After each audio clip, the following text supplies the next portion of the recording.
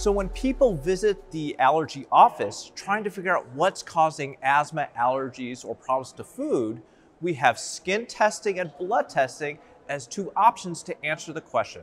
So starting with skin testing, we take a drop of the allergen and put a small prick of the skin that's relatively painless.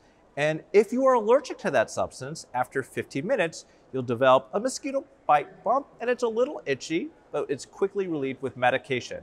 Now the alternative is a blood test. This is just like any blood test you'd get. It's a blood sample that comes back in a few days and it will tell you what if your body's making something called IgE to that allergen. Now, in comparing to the two, skin testing is much convenient for patients because you get the answer right there. We can counsel about it.